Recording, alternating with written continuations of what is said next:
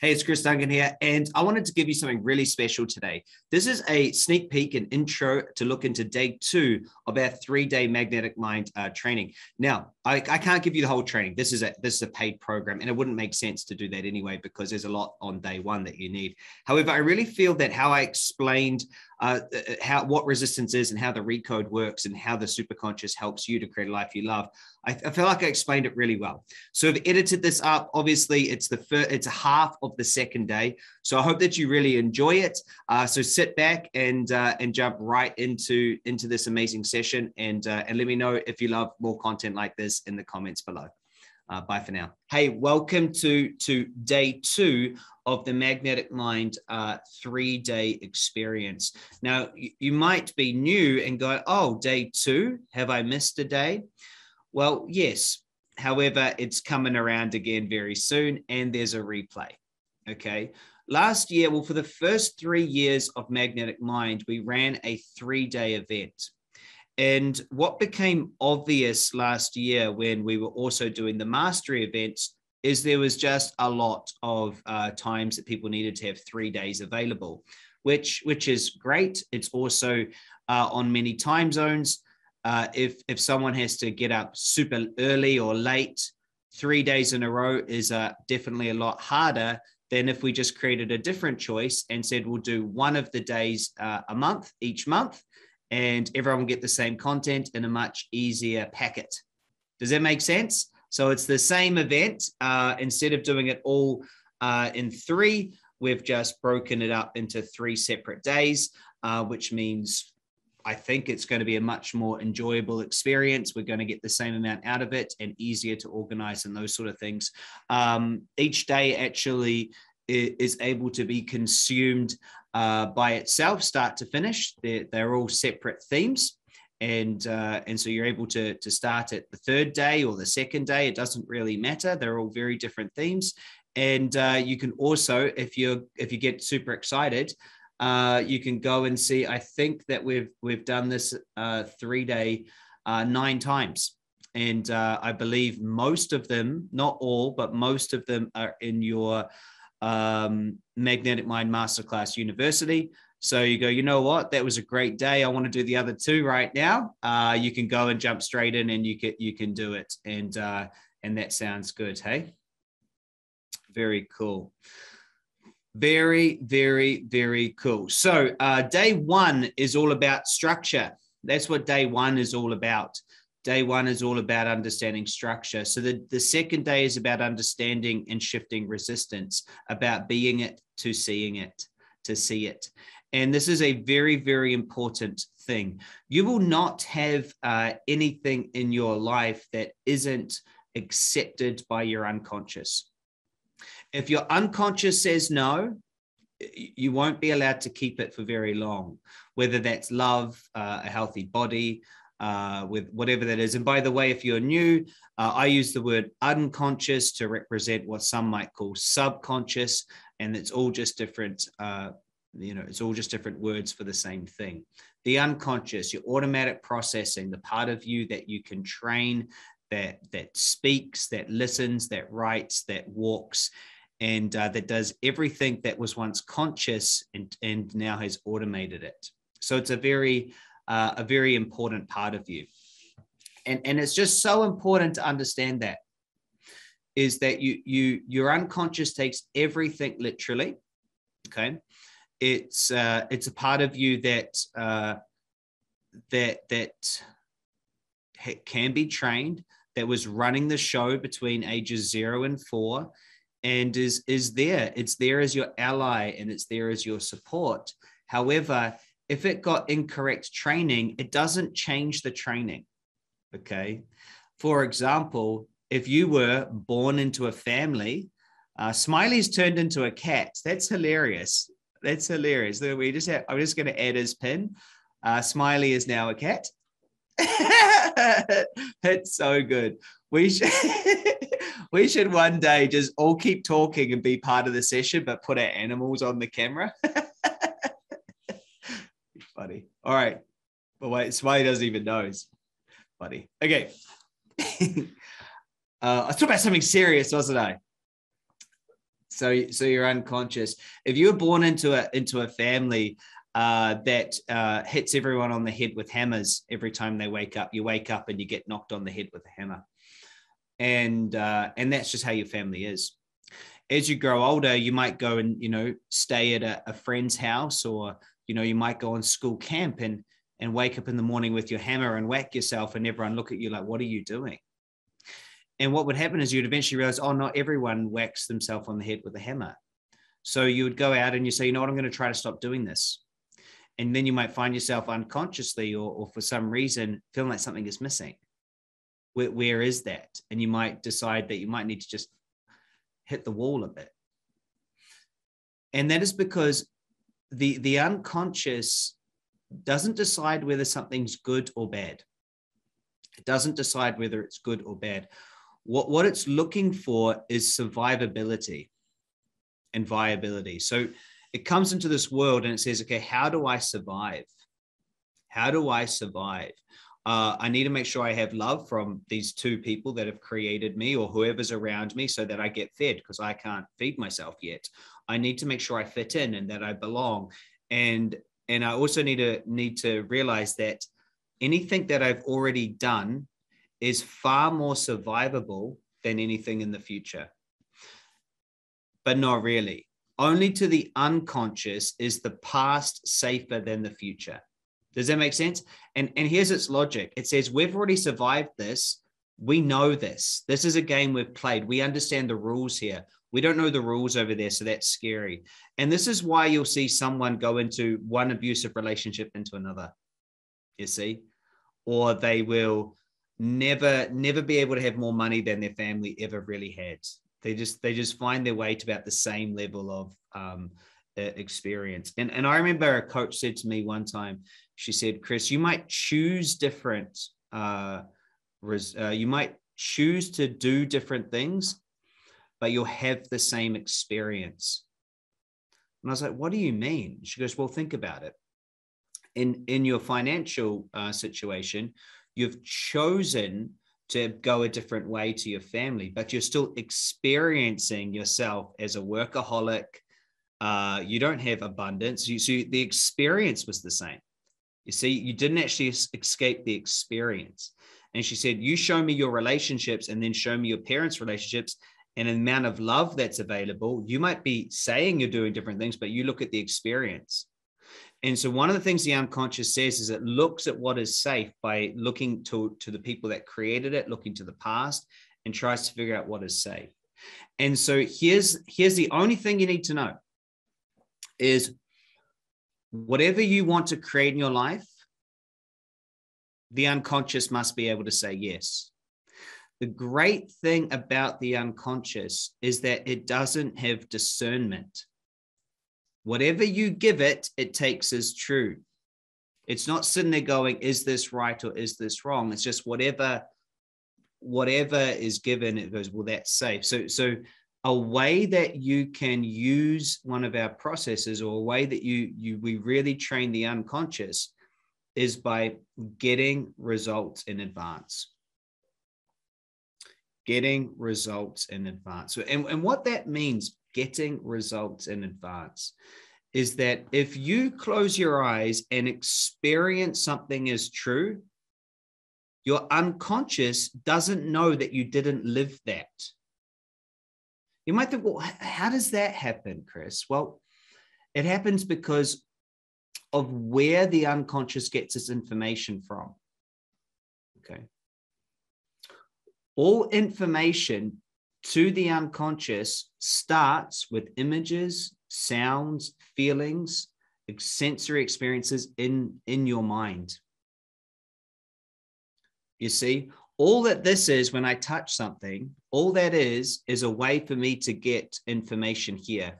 I have these peepers, these little lookers, and all they're doing is getting light and creating information here. When I use these things and get some, some sound information, it's just creating information here. From here is where the unconscious gets its information. Does this make sense, everybody? So by using visualization, which is which is visual, auditory information, sensory information, you can have the unconscious experience end results before they've actually it's actually happened in in our third density does that make sense? Now can i get some yeses? Where's where's the where's everyone at? Does this make sense? Let's get some hands up some yeses. Are we good with this? Is everyone happy? We're diving right in today. There we go. There we are. That's more like it. That's more like it. Very good. So so what what what's really interesting about this and, and about our, our work is that when I ask you to close your eyes and experience an end result, okay, your unconscious experiences that as happening.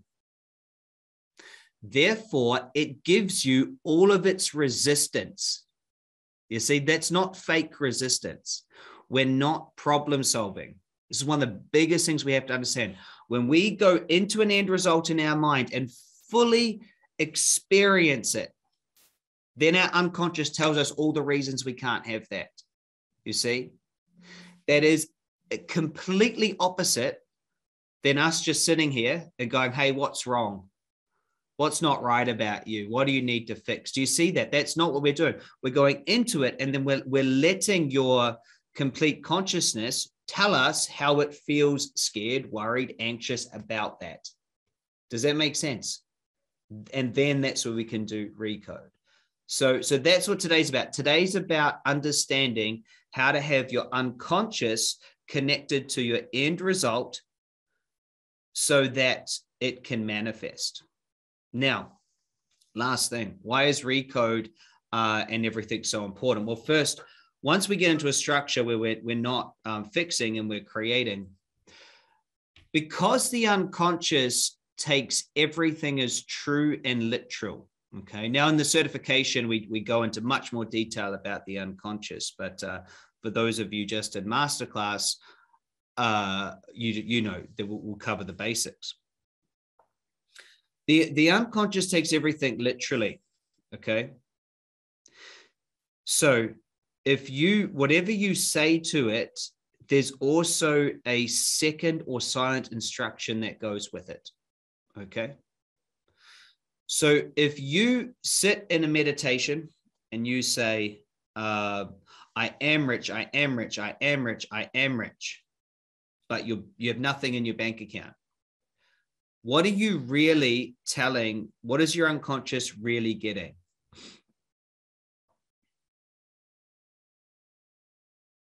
That you're a liar. That you that you're a liar and that you're scared of looking at the truth. Isn't it? That's what you really get from that. If you, you know, because it's not it's not true. You, it's like you're trying to um you you and it is it's you trying to fake you out. Does it make sense? But does everyone understand the metaphor of fake you out? It's like trying to trying to pretend, and you can't because you know the truth. You see, and so when when if I and I always use this metaphor, if I'm sitting down and I and I'm visualizing being a standing up person, and I stay sitting down and I say, I am standing up, I am standing, I'm a standing up person. And then if I stay sitting down, what have I told the unconscious? I'm not a standing up person. It doesn't matter how much meditation I do about how great it is to be standing up. right? It doesn't matter. I then I then collapse all the information because I stay sitting. You see, I do care about um, making money. I do care about losing. I do care about this. Then you don't do it. You see, and, so the unconscious takes everything literally. You see, because it, it is it, it is you. There's no way to to fake it out. There's no way to hide something, and uh, there just isn't. Now, when you tune into the end result, like we t- we teach you, you, you're you're saying this is a result in the future. You're not trying to lie and say that it's here now magically. Saying this is what I'm going to create, and this is how it will feel like. And then the unconscious says, "Well, here's all the reasons why we're scared of that, or worried about that, or unsure about that, or doubt ourselves." And then we go, "Fantastic." Now the problem is, with many other uh, ways that you have been taught to to uh, create shifts or, or develop yourself is that when you see these resistance, uh, you know, these challenges, these upset emotions, you've been taught to go and try and fix them. Chris, I need to get rid of my self sabotage. Chris, I've got too much fear. Chris, I've got too much anxiety. Yeah, it, it's makes sense. It, it's you've been told to go fix it. So everyone, make sure you really, really get this. When you go to fix something, what is the silent instruction that you give?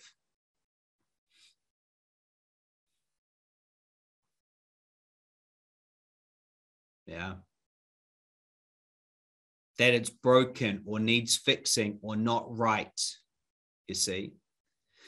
And, and then people wonder why they've keep doing meditations or they keep going to a different doctor and, and they keep on finding more problems.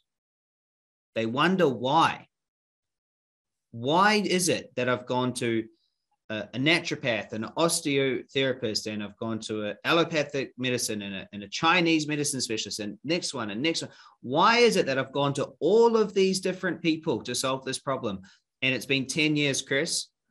Why is it that I still have the problem? And it's it's so obvious. It's that your unconscious has been trained that it has a problem. You told it it's a problem. It doesn't know what else it can be.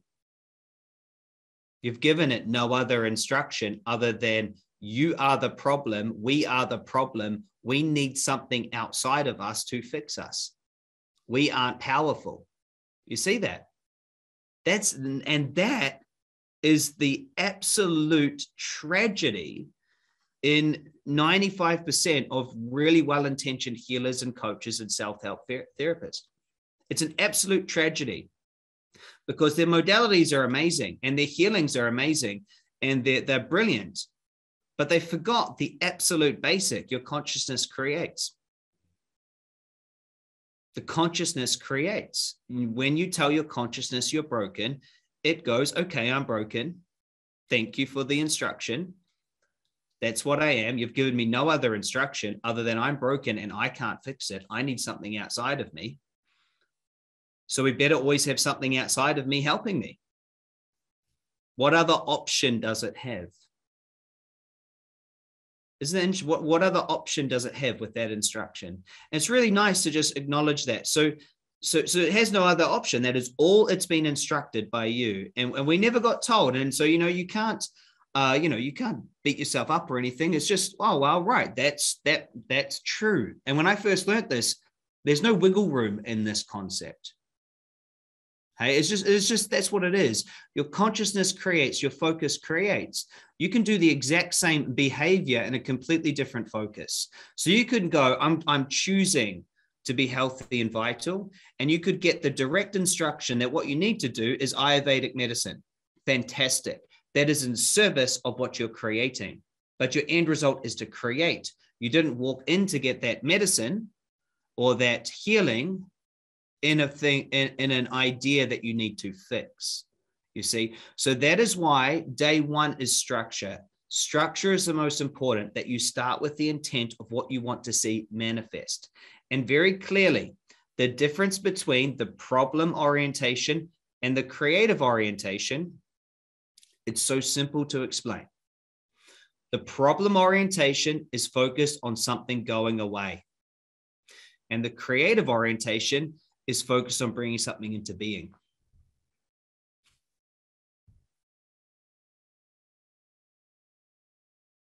That's it. That's it. When you create, you're bringing something to being, a healthy body. When you are problem solving, you are trying to get rid of a disease. And you can't be in both. I just got chills. It's probably the best way I've ever explained it. That's it. You see? You can't be you can't be in both. You're either bringing something into reality or you're focused on trying to get rid of something. That's it. That's it, isn't it? That's it. And that's what day one is. Day two today is going, okay, now we're focused on bringing something into being. If it's new, your unconscious hasn't, doesn't know if it's safe or not. So we need to have the unconscious completely be happy with that to be manifest and for you to receive it. However, we must rise out of the unconscious and create changes. You see, we, we can't go into the unconscious to fix it because it's too literal. So we must rise up and out, create changes from a place where we're source code, and then and then bring it down. So that's what today's about. So welcome, uh, welcome to day two. Welcome to day two. I'll get the notes up and we'll get ourselves started. So the goal is uh, that we want to have a flowing structure. A flowing structure. Now, a flowing structure doesn't mean that there are no, and I'm just going to share uh, the notes here a little bit. Actually, I don't need to share the notes, but I will be. I'll show you how it's going to look. I will be sharing the notes, but these notes are quite quite small. Um, so I might just just read some out. I'm sure you guys. Oh no, it feels right to. I'll leave it up. Okay, the flowing structure. Okay, a flowing structure doesn't mean that there's not a stick or a boulder in the way of the stream. Okay, it doesn't mean that the that the stream is completely straight. It just means it's flowing. And the flowing structure means that the, there's no opposition, that the, water, the, the way that everything's set up is the way. Okay. Yesterday on my recode, I talked about a great metaphor of setting up the right structure is thinking about a trampoline. Where you put your focus is like where you put a bowling ball, and you are a tennis ball. Wherever you put the bowling ball, the tennis ball will roll to. That's what it's like with your focus wherever you put your focus, that's where you will roll to. Does that make sense? Yeah, you will roll there no matter what. And most of us put our focus on, well, how do I fix myself? And so you'll just roll to ways to fix yourself. And that's what life will be about. So, so we, we must we must think about it like this. So to, to get into the right structure, it's all about focus. Now, isn't that simple? That's it. That's it. A creative structure about bringing something into reality. Problem orientation is about removing something, and it's all about focus but it is very difficult it is very difficult you know it just it's very simple to explain isn't it? Who agrees? Simple to explain stay focused on the end result and and take action towards that. Yeah chris but then what happens when you get a diagnosis? What happens when you you know you lose money? What happens yeah yeah yeah all these what happens in the real world? Yeah it's easy to stay yeah I'll stay focused on my end result and and here but but it's actually a very difficult thing. So to do this you switch your focus you be it before you see it okay? And what that means is that you already have uh, sat in that end result and you already are happy that you can have that. You be it before you see it. It's already allowed. It's already allowed. The flowing structure has no identity resistance because the identity is the same. It, it doesn't. It doesn't matter. Yesterday's session was a good one. Who was on it about um, playing a game, making your choices a game? Yeah. Thanks, Regina. You were on yeah, so so fantastic. It was a great session. Make it a game, you know. And uh, if you missed it, there's a replay. There's a replay. So you arrive at success and failure feeling the same because your consciousness creating, you're much bigger than it. And just because you took an incorrect action and didn't get the result you want, failure is just not meeting an expectation that you thought. That's all failure is. And so, you know, failure is just a stepping stone towards mastery. and, and so you don't get upset about it. It's like, oh, that's it's meant to be. It's it's part of it. You can't not do it. You know, you watch a kid learning to walk. You know, if they gave up the first time they fell over, all of us would be crawling around on our butts. so so this is this is the key. Hey, the key the key is to be focused. And so the metaphor we use here uh, at Magnetic Mind, obviously, is to become the magnet. Looks a bit weird with the black behind me like that. Um, so you become a magnet. Now, to become a magnet is that you know you taking the right action, and it seems that things are attracted to you, but but honestly, you're just not repelling them anymore. You see that you already are a magnet for it, but your unconscious repels it. I can't have that. That'd be scary. I can't be that. I'm not good enough to have that. How could someone love me like that? I can't actually have that healthy body. It's scary. And there's so many things going on. And, and an example is, you know, if you put two different seeds in the exact same soil, uh, all, all, all that's there is already there for them. The same soil, the same water, the same sunlight, everything. There's just a different intelligence. You can't break and open that seed and, and see anything. You see, everything's created in the invisible, but two different seeds in the same soil will, will, will create uh, completely different, you know, completely different plants, won't they? And that's that's you so you change your your the way you are you change who your your focus you change you're in the same universe, you'll grow into a different tree. That's what I'm really saying. you, you'll be a magnet for it. Okay. So today we're really focused on being a magnet. Now, the truth is, is you're actually always a magnet. You just haven't been using it. You see, and you're blocked from a lot of stuff. So, in order for us to first get ourselves moving uh, into becoming a magnet, there are four what, what we use the word orientational uh, choices. Now, those of you who have done the creator course or you're in mastery, you'll know that in mastery, uh, well, actually, I might be uh, I might be letting the cat out of the bag for some people who are in it. The last session, we actually teach you how to create your own orientational choices. Okay. In Magnetic Mind, uh, we give you four orientational choices. Now, an orientational choice okay, is a choice that you can have now and in the future.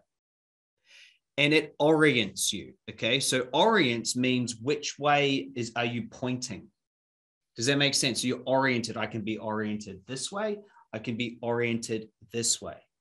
So what orientational choices do is they they point your consciousness in the right direction. Does that make sense? They they they show you how you're going to see life. Okay? And every one of these choices you can have now and you can have in the future. There's no waiting. It's not like if you're trying to create your dream home. Okay. You can't have your dream home right now if you're building it. You got to, you know, there's a time delay. You are building it, right? And that's kind of the joy of it. But with the four orientational choices, you can have them all now. Okay. They orient you. And the four that I've given you are the ones that I use every single day.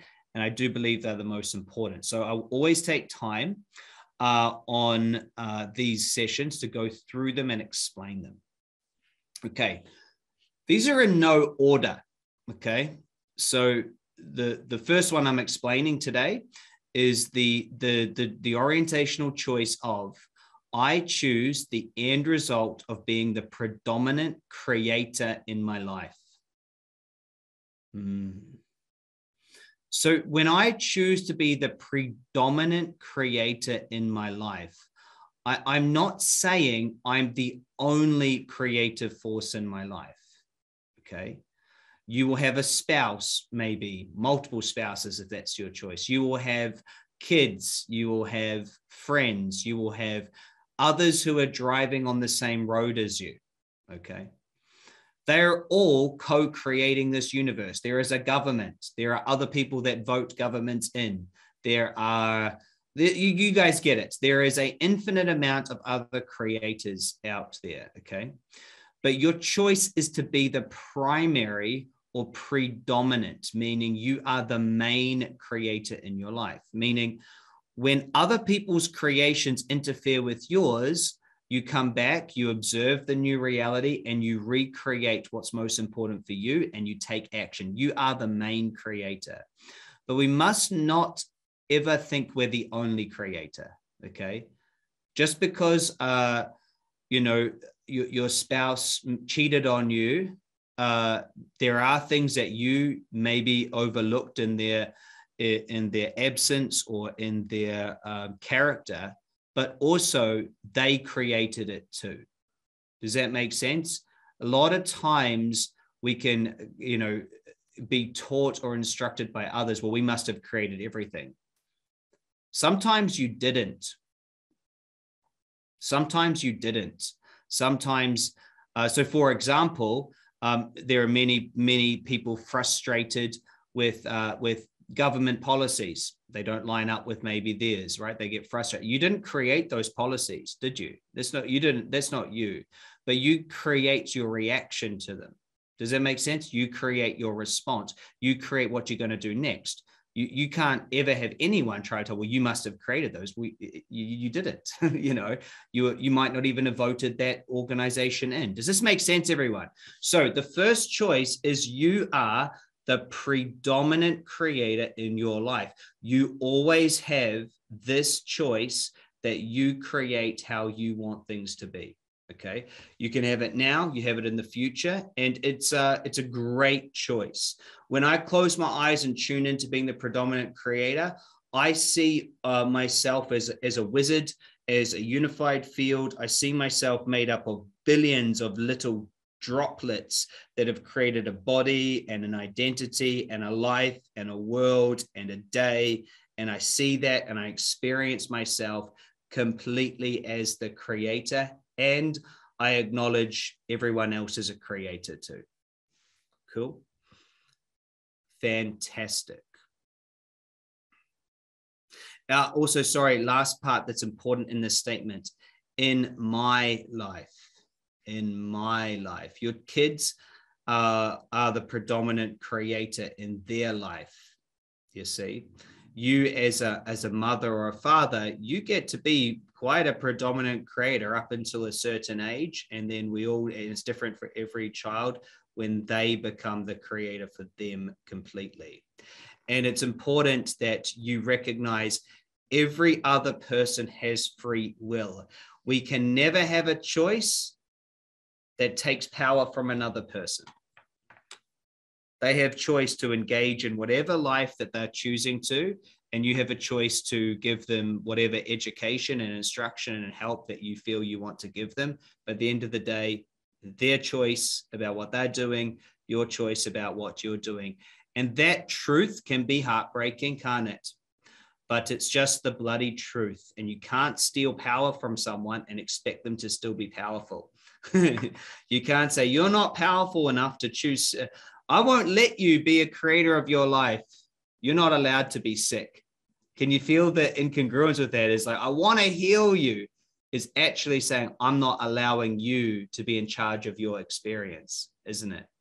It's very, uh, a very mature way of looking at things, but difficult and much easier to sit here and talk about it compared to real life. Just pre- prefacing the fact that I'm not bloody perfect. Um, okay, then uh, not that I was thinking that anyone thought that, to be honest. I was like, we didn't think that about you, Chris. We know you're not perfect. All right, good. Let's get to the second one. Uh, the second one, I choose the end result of living a life I love or loving a life I live, whichever way sounds nice to you. This is just choosing to love it because uh, you can you can have the uh, the same life and uh, you can do the same things and you can choose to to love it and um, and that's great or you can choose to get frustrated by it but it's the same life. Uh, it, it doesn't change. Your results don't change by being frustrated about something you see. And and by just getting and just saying hey i choose to to live a life i love it doesn't change that you still got to do your taxes or you still got to you know, do the things that need to be done. It's just choosing to orient in a way that you love it. You only get it once. One thing I always say to people is I'm like, take a breath right now, you know, like really just just breathe it in and just know that like, you know, right now you'll never get this, you'll never have this moment again. You'll never be this young again. It's moving forward. So you may as well choose to love it because choosing to get worried about it or anxious about it or pissed off about it does nothing but steal those minutes. True? Is it true? Does nothing to steal those moments. But please don't get into any sort of uh, uh, misguided assumption that if you choose to love it, then the results will change. Because they won't.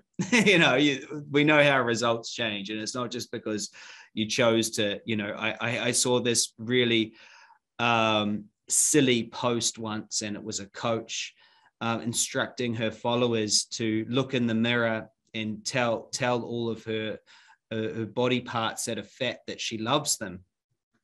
And then then that's a that sounds fine doesn't it? Until she says and by loving them you'll lovingly have the felt the fat uh, melt off your body.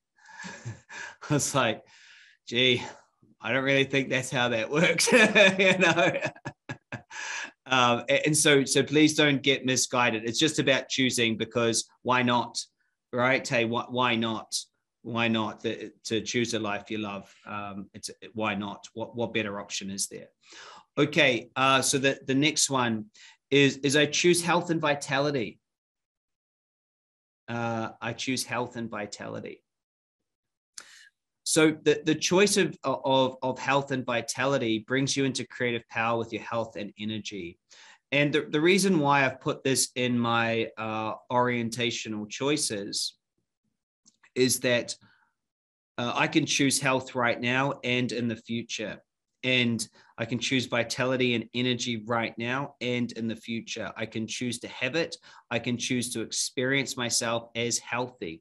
Even someone that has a diagnosis is still 80, 90% healthy. I can acknowledge many aspects of me that are healthy right now and, and, and really experience it.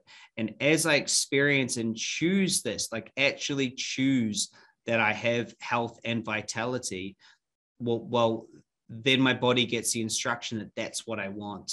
And again, I don't see any reason why you wouldn't just more health and vitality. True. Like, why wouldn't I want to every single day teach my consciousness to focus on creating health and vitality and that I already am health and vital right now. Does that make sense? Can you see how that all of these are just orientational choices? They're just things you can have now and things you can have in the future and they orient you they they point you in the direction they point your consciousness somewhere you see. You you need to point your conscious you need to focus it somewhere. If you don't focus it if you don't tell it what you want to create or it's just gonna it's just gonna create based off whatever misguided ideas it made up when you were two years old you know? And that's all it will do. So you need to you need to focus it and point it somewhere. All right and then the fourth one that i give you in uh, magnetic mind is to live your true nature and purpose. Okay. Your true nature and, and purpose. Jenny's asked, Can I choose to be thin and fit now? Absolutely. That's just not an orientational choice. And, uh, you know, you, you can choose it, but it's not going to just happen now just because you choose it. Does that make sense, Jenny? Is, uh, you, you choose it, we've got to go create it. And so there's no need of trying to demand it now. We say, this is what I'm going to choose to create to be to be fit and uh, and thin, which is fantastic. But that's very different to choosing health and vitality. Yeah. All right. So the, the next orienting choice, okay, is I choose the end result of my true nature and purpose. Okay. The the the true nature and, and purpose is very, eh, very interesting statement. Okay. So, true nature, what is our truest nature? Our truest nature. In my opinion, the truest nature of a human being is to be a creator. See, my dogs don't try to create things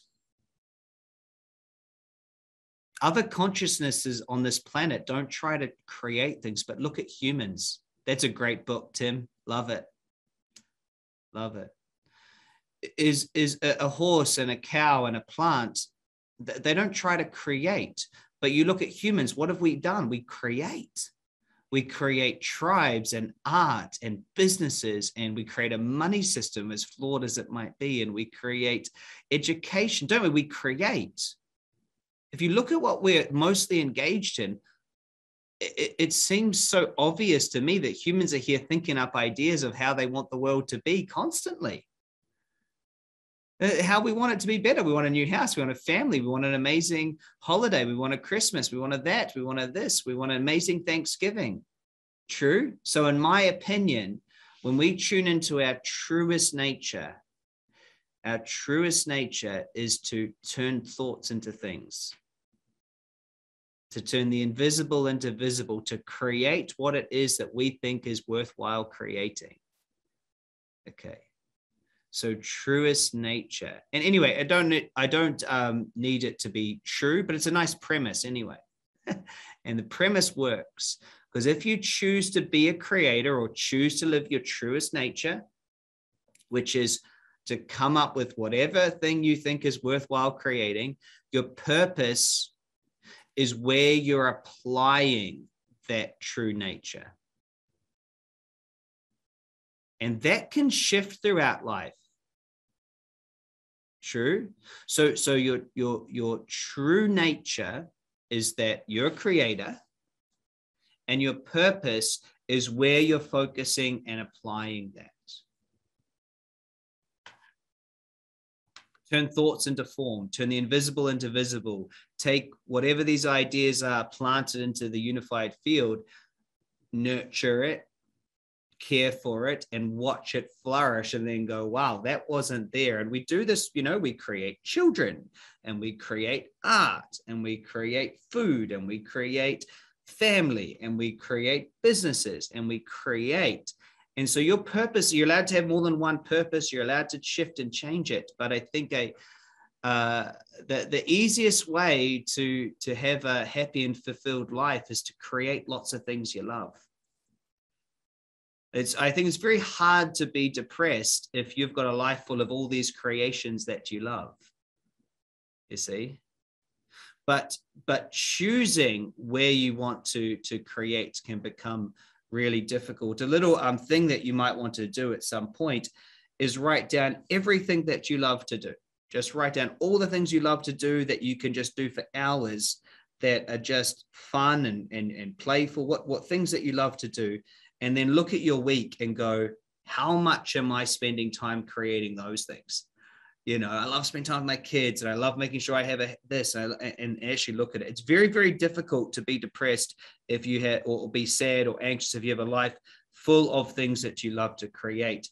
There, there's a lot of studies on this actually um, that most, uh, or, not, or not most, but many uh, there, there's definitely uh, chemical imbalances that create mental illness. That's definitely true. That that's definitely a thing but there's also a lack of people creating lives they love that that plays a massive role in um, many of the the challenges we're having and what they find is uh, once someone can focus on creating activities and joy and, and community and time in their lives doing what they love that's no longer a problem they find that uh, a lot of times the problem is two hours to get to work, eight hours in an unfulfilling job, two hours get home, make dinner, clean, go to sleep, wake up, repeat.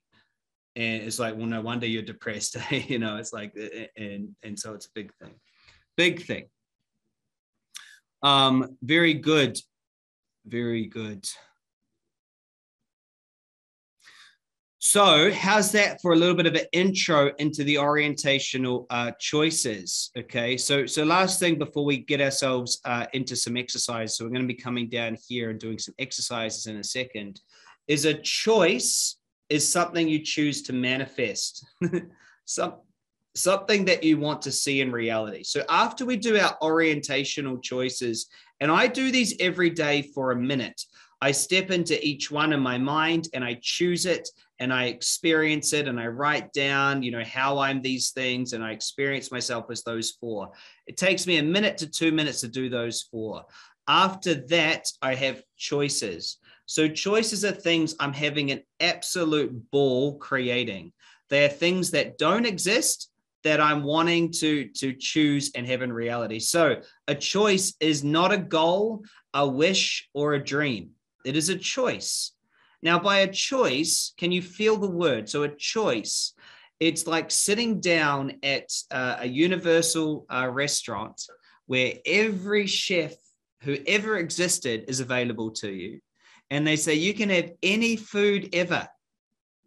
And you've got choice. You see, a choice has a inevitable feeling in it. A choice is powerful. A goal is something that you're running towards. A choice already exists. You're just choosing it. Does this make sense? It already exists. You're just choosing it. So uh, everyone can have the four orientational choices, no reason, no excuse. We work on these um, four choices first because until you've pointed your life in the correct direction, there's no point trying to create lots of money or everything else. Like, why would you want lots of money if you haven't chosen to have health and vitality? Like, why would you want to have lots of money if you're not loving your life? Why would you choose a happy and healthy, a happy relationship if you're not being a creative force in your life? Does that make sense? So, so there's no need to go anywhere else uh, until you until you focus on these four. Okay, uh, and so this is the first step, and this is um, reorienting. I see David says, "I choose to live a life with unlimited choices." Well, there you go. You've got it.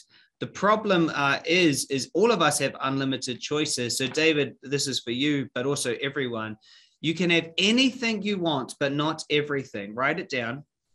I can have anything I want, but not everything.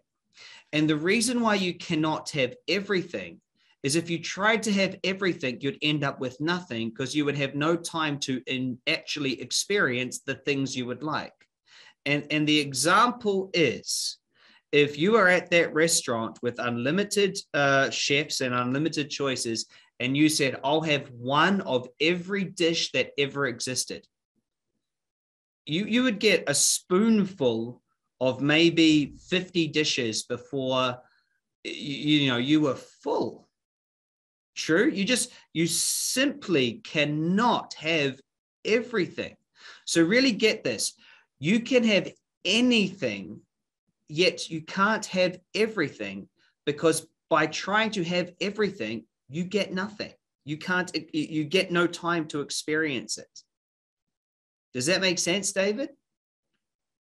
It was a, it was a good little, it was a good little um, ping to have that conversation come through. And did everyone else get something out of that?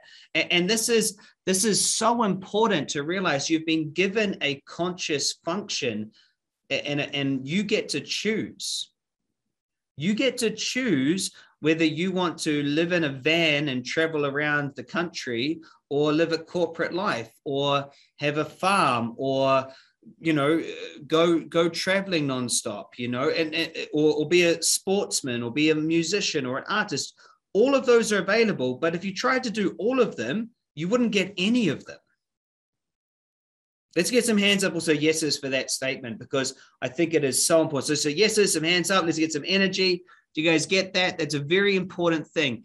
Uh, uh, uh, Ryan Holiday wrote a book, The Ego is the Enemy, and he's an amazing author, by the way, but I think it's a terrible title. Well, it's probably really marketable. But the, the, the self conscious isn't the enemy. You were given it to make conscious choice, uh, to choose which direction that you're going to go. So, very important. Good stuff. Very important, good stuff. So choices are, are crucial. All right, so we're going to start talking about conditioning the unconscious mind. But we having a good day so far or a good session so far? Am I still pinned as the big video? I think I am. Yeah, cool, cool, cool. And all my coaches, where are my certified coaches? Uh, how many certified coaches are here to uh, to be learning deeper how to explain these concepts? Do I have some people who are here for themselves, but also their clients too? Yeah, because uh, because learning. Hey, Jamie, good to see you here, you bloody rock star. That's awesome, and I uh, can't wait to see you again in person. And, and so uh, it, it is very important if you are a coach, is that you can be here listening for you, but also uh, maybe you want to gather things. Oh, that would be a nice way to explain something. I might put that in my next training and everything else. So, so very, very, very cool.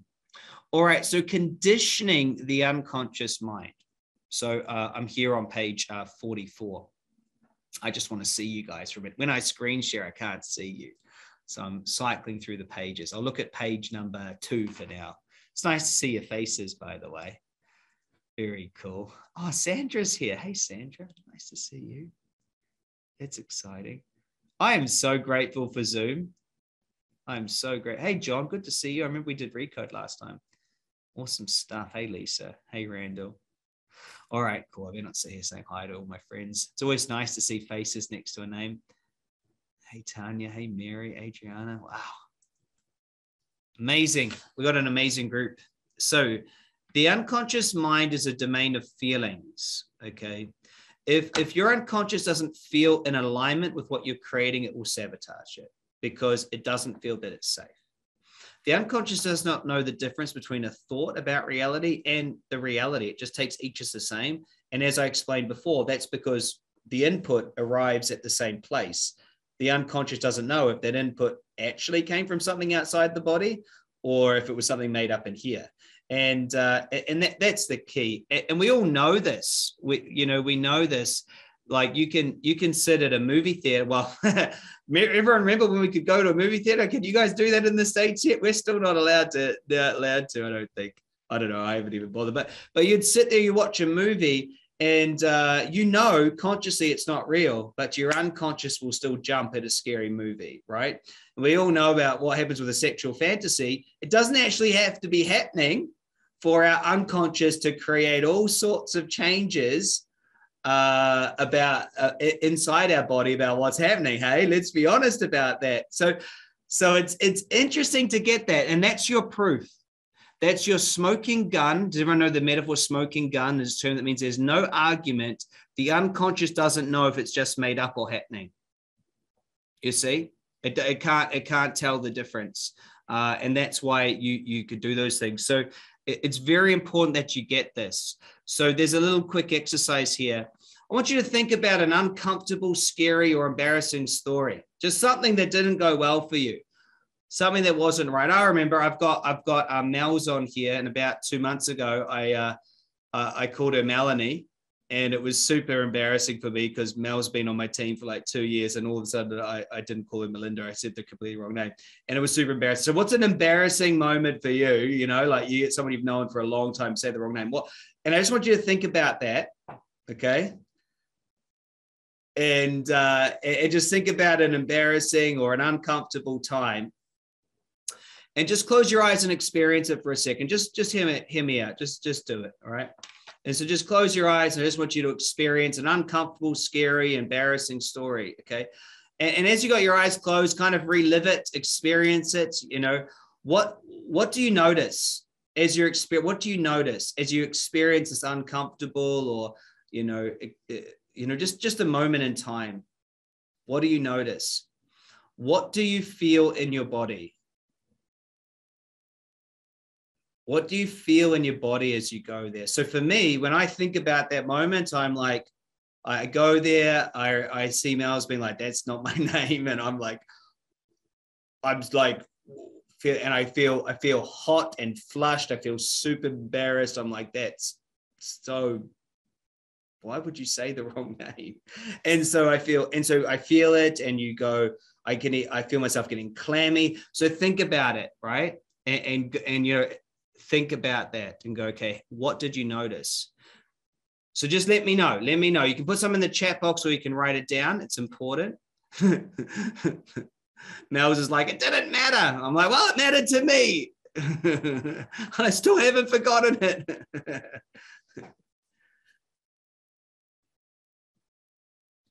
now, I want you to look at everyone here that's, and where did you feel it in your body? Okay, where did you feel it in your body? Feels weird, feels okay.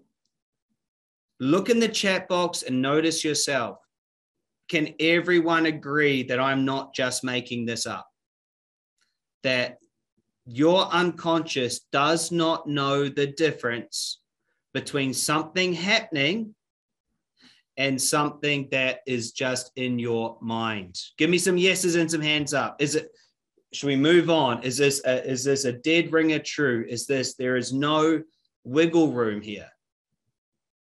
True. There's no there's no way that you can argue this point. True. There's just simply there's no possible way. So the challenge is now that we all agree on that, most of us, when we think about a result, then tell our unconscious how it's not going to work out. True. Hey, we visualize it not working out. And then what do we teach our unconscious? That it's not worked out because it doesn't know the difference between something that's actually happened and something in your mind. So when you picture it not working out, what did you just what did you just experience unconsciously that it didn't work out?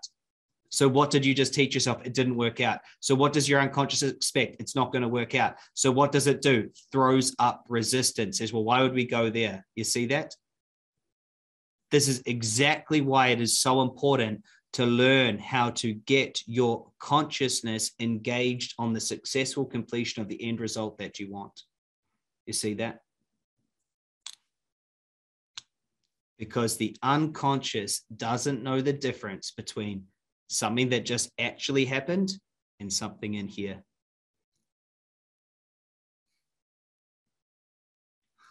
I'd love to get a couple shares on what I've covered uh, up to this point. So who's got something that they've that's landed with them that they think was a was a good thing that they would like to jump on and, and share with the group. I might take two or three. Do a little hand up if there's something this morning that you'd like to add. Um, Regina, you can go first and uh, see if anyone else. So, Regina, what's been uh, interesting? And then Siddiqui will go next. Are you able to? There she is. Hi. So, hi, um, Chris. This is awesome. Yesterday was totally awesome. Thank you. Um, the first thing I wanted to say when you said the four main core choices, hmm. I was hit with a ton of bricks. I've been doing those for a few months now. Hmm And I realized for the first time that I was still trying to fix myself oh. because I felt like I needed to change my life in order to love it and in order to. Ah. So I, it was just like a ton of bricks and and major major clarity on oh my god like i need to love it now you do and there's no there's no point not there's no yeah. point not to isn't it it's the only one you've got you're absolutely right absolutely well thank done. you well you're so that. welcome you're so welcome great share thank you brilliant to hear from you uh Siddiqui, i'd love to hear from you here she is. Hey, thank you so much for this, Chris. I just love it. I've been in the coaching industry for over 20 years. Yeah, and so much of the orientation is removing it, fixing it, solving it, reinforcing that you're broken, reinforcing that you need the external yeah. someone to come in there and fix it. And yeah. this is just like I'm like, will I ever have clients again if I let them know this secret? but well, it's funny, and I know you're joking, but it actually takes a heck of a long time for people to shift into the creative orientation. And as Regina just shared, old habits die hard. I think some mm-hmm. people at the beginning, I say, you're going to have to work with me for a year. They're like, a year that's not and then they get six months in they're like wow i'm still not in the creative orientation so so yes Great yeah. share, hey. And it, it's it's um you're welcome. It's funny, isn't it? it? It's like so obvious when you get told this, but I was just like you and I went, "Oh no. I've missed this, you know, but brilliant. Now I've got this answer. Um, so it was a moment of both joy and also a bit of a bit of uh, uh, regret that I didn't get to know it faster, but it's all good.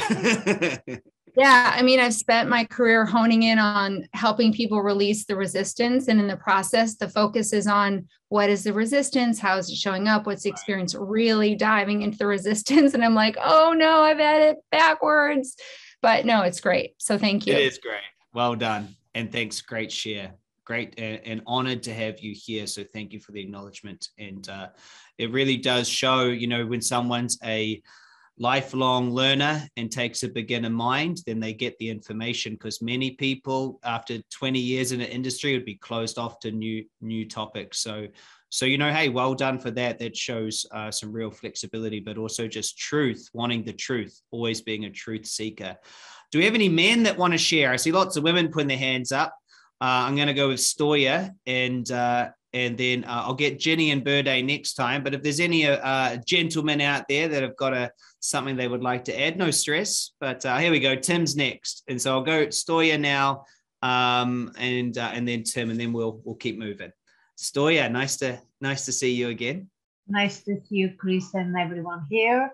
I really appreciate this class and I want to make one that I really missed the first time I took it. The yes. choice, it's not the dream and go. Right. The choice, it's a choice that's already existing in a quantum field. We just have to take it. Yes. Not to go and create and dream it and work on it and and pushing it what I was doing is I'm I'm creating it, but I thought I have to to do something. What I have to uh, work on my subconscious mind, clear my my thought, feeling, emotions, and start to work on my acceptance to have it, just have it, like clearing a, a lot of um, old clothes and get the only one you like to wear. That and it's a lot of work. I can tell you that it's a lot of work, but it's worth it to do all the work. Fantastic, great share and not a dream and go. As uh, as a mentor of mine would say, there's never anything to do, but there's always an action to take. And it's it's yeah. Thanks, Stoya. Great, great share. Thank you. I'll get to yeah, there's never anything to do, but there's always an action to take. And it took me a long time uh, to remember and, and, figure that one out. So I'll give you guys the insight is that life's an action sport. There's actually no way to not be taking an action. Even the idea of procrastination or inaction is still an action. So, so it was a it was a tricky uh, riddle but once I figured it out, I realized there's always an action. You're always in action. You can't be in procrastination, but you don't necessarily have to do things that that make sense to get somewhere. But there's always a correct action. And it's, it's very interesting. So one more share, Smiley and Birday. I saw your hands go up, but I'll just get Tim, and uh, then we'll get you guys next time. So so brilliant. Otherwise, uh, we won't get on to our next contents. But thank you for volunteering and. Uh, Tim, you you take us uh, take us away, sir. The one thing I want to add to this, I want to share this with everybody because I actually had a physical manifesting experience in one of the first uh, sessions you ever offered that I attended. Wow. And it was on the oscillating, the stuck, and the flowing mechanisms. and I had got it in my brain and I started speaking it out loud that uh, there was this issue that was stuck. And I actually, oh, that solving that solving problems in the industry that I work in is like rolling a rock. That it doesn't flow. You have to push it every time to make it move, right? Well, the irony of it is, is that I actually had a rock on my desk that I would push forward, and I did this for like three days. And I kid you not, I had probably the first worst three days that I've had in three years. Okay. And all I had to do was put the rock aside and push my one of my medicine balls across the floor in a flowing manner. And literally the dominoes just started falling again for me. I wanted you to know that. Very because well, I knew you would like that. I do like that, and and you know, eh, there's there's many ways to teach the unconscious what we're looking for, and a, a physical metaphor like that is a very, very robust way to do it. Tim, I love it. I love it. Thank you for the share, sir. Appreciate you, and well done. All right, hey Anya, Danny, and Gazelle, I see your hands up. Uh, anything you need from us, Anya, Danny? Gazelle. Let, let, let me know. I see the little hands up, but um, I'm not sure. Not sure what you need. All right, uh, let's get ourselves moving. Very excited uh, to be here. Hopefully, you guys are back and feeling comfortable. Uh, we'll get into a little bit of an exercise here uh, about the emotion of the end result. So, uh, I guess uh, Hey, let's get the hands down, um, guys. Unless there's anything that uh, that you need. Thanks, though. Good to see you, Robert, AJ, uh, Gazelle. Awesome stuff. I don't need. We don't have any shares right now. Unless you need something, let me know. Um, thank you, thank you. Uh, always want shares. I'll let you know we've got time for some more shares, and uh, I'll remember your names that you wanted at this time. Fantastic stuff, guys. So the, the the point of the emotion of the end result because i feel like this can get lost sometimes and i want to make sure that we all uh all get it is the the reason why we do the emotion of the end result is to teach the unconscious that this end result has all is safe to have That's why we do it. That's exactly why we do it. And as we've already proved, the unconscious doesn't know the difference between something that has happened and uh, something that's just in our mind. Okay. It does not know the difference. Therefore, this is a really good thing to do, but that is the premise. Okay. That is the premise of doing it. So, through visualization and meditation, you can condition your unconscious and you can talk to it. Feelings and imagery and metaphors, uh, just like Tim and I were talking about, metaphors and symbolism and imagery and feelings is the language of the unconscious. It's its language. Okay. It, it, it, needs the sensory input. So, through visualization and meditation, you can condition the unconscious to have the ability to accept and receive the end results you desire. It's very simple, but most people want something way more complex. It uses open ended questions to allow you to experience it and be it right now. This is step two in our five step process. Okay. So it's a very important part of it. This is how you can open to the wizard's gate, right? Which is the present moment, uh, and, and, to, to be able to receive wisdom and everything else. Okay. So we're going to do a uh, do one together. Let me share my screen and uh, we will do one together. So we're going to start off with an easy one, which is the end result of living the life I love. Okay. I'll guide you through and allow you to fully experience that being true and teach your body how it will be in this reality of loving your life. Okay. I'll have you take a few breaths, few breaths and connect to your heart. We'll choose this result. Okay. So we'll use our self conscious to choose this result and then we will feel it. We will ask open ended questions to expand the possibility. Notice what uh, comes to us and ask o- other open ended questions and then open our eyes. We can uh, every day, and I do this, uh, you know, every single day, but I do it for about uh, two or three minutes in total. Okay, in total. So uh, if everyone's ready, I'll um, I'll guide you through it. It's very very simple. Okay very simple. Um, someone's actually mentioning here, I get sleepy. So very good. So let, let's cover cover this.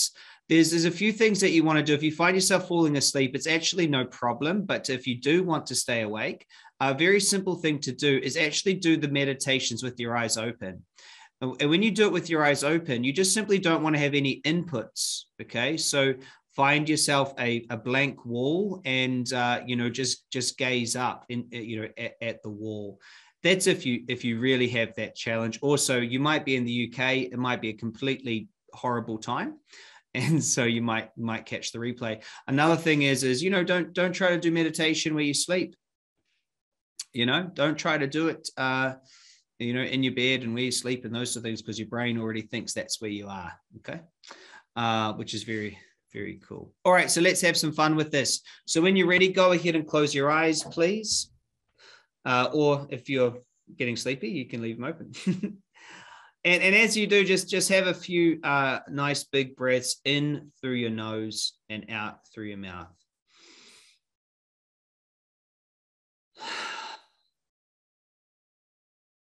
I love to experience myself connected to the all as though when I breathe in, the universe is breathing out. And when I breathe out, the universe is breathing in. And just and just choose to experience yourself like that. If you can place your intent in your heart and breathe through your heart and just just feel connected for a, for a second.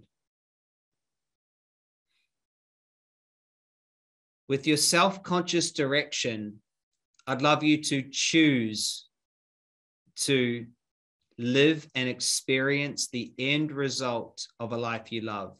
And say this in your mind as I say it out loud I choose the end result of living a life I love.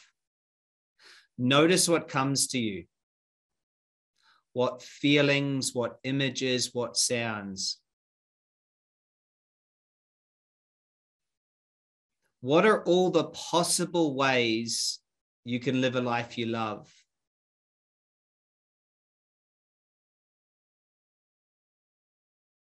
And how would it feel right now? How would it feel to be so in love with life? And if you don't know Just make it up. What would you say to yourself being so in love with life? What would you think? How would it feel?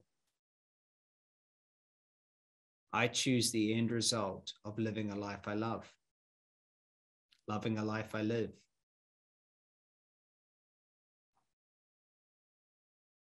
And just allow yourself to feel that. And now let's expand it.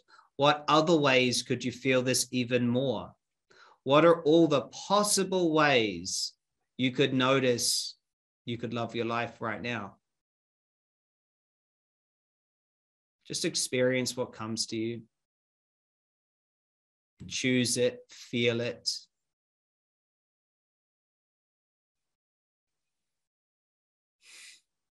And with every breath, just allow yourself to expand into this feeling the best you can. Just do the best you can. So, what would you love to create to feel this even more? What would you love to create to feel this even more? What dance, what art, what sport, what family time, what food, what experiences? What would you love? What businesses, what travel, what contribution, what charity, what books, what entertainment? What would you love to create to feel this even more? Flood yourself with all the things you would love to create to feel this even more. What are all the things that you would just love to feel this even more?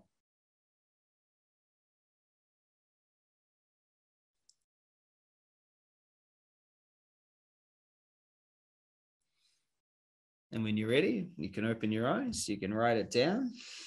Let me know how you went. Big smiles all around.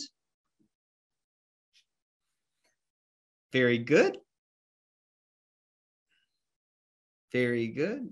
Awesome. Simple, easy. So we condition our unconscious. We go there, you see, we experience it. Our unconscious doesn't know that that's that's that that's anything but the truth. Does it feel good? The unconscious just experience it. Well, and it should be, and it will become truth. Your unconscious is trainable. This is a very big thing. Your unconscious is trainable. When you when you first learn to drive a car, you are very conscious, and then over time, you now sit in the car, change the stereo, take off take off your top, talk to someone, and then sometimes you even forget where you've been driving for a few minutes. you know, I get in the car and, and I go, Why am I going this way to my wife? She goes, I don't know. I'm like, Oh, I'm driving to the gym. she goes, Well, we're not going to the gym. I'm like, I know, because it's unconscious. Has anyone has this happened to anyone before? Yeah. It's unconscious. So you train your unconscious. So this practice of doing this is training your unconscious. And then guess what? Like what happens with me in the car and you probably as well, is all of a sudden your unconscious takes over and it's trained. It becomes your ally. Who would love to have their unconscious as their ally? If you train it again instead of their enemy, hey, their ally on the end results they want to create. If you spend time in the end result in health and vitality every single day and teaching your body how that's going to feel and teaching it and teaching it and teaching it and teaching it and teaching it, eventually you get to a point where you go, well, I don't need to do this. I mean, I don't, there's no difference. There's no contrast. this is just my life. is it true, everyone? So uh, it's very important uh, that you that you do this uh, every single day. It's um, it's part of it. It's very part of it, and and there, and there's there's reasons and science, and and that's that's why we're doing it. And it and the, there's a reason I wanted to go deep, and well, not deep, but enough to share with you, you know, why uh, is so that, that everyone does it, you know, because it doesn't take long. So it's it's step one every morning. Now, what you'll see here is an instruction. Repeat this process with three other orientational choices. Uh, and, and Hannah does it longer than me everyone uh, does everyone know hannah? Everyone's had a session with hannah before. So hannah loves it uh, she loves this stuff. And she'll spend three minutes per choice. And uh, i don't know whether i'm add or just faster but i can't do three minutes on every single choice in 12 minutes. Like in 12 minutes i've i've done 20 different things. So i spend maximum a minute in each uh, end result three to four minutes in total. And uh, so what i'm saying by that is there's no right way to do it is there? It's that each day one of the first things you should do, and it's in our morning routine, is that you teach your consciousness how you want it to be. You you you're in control of it, it wants to it wants to get instruction from you. Does that make sense? You do these first two or three minutes four minutes five minutes whatever it is until you're in the end result. Okay? So whatever gets you in those end results.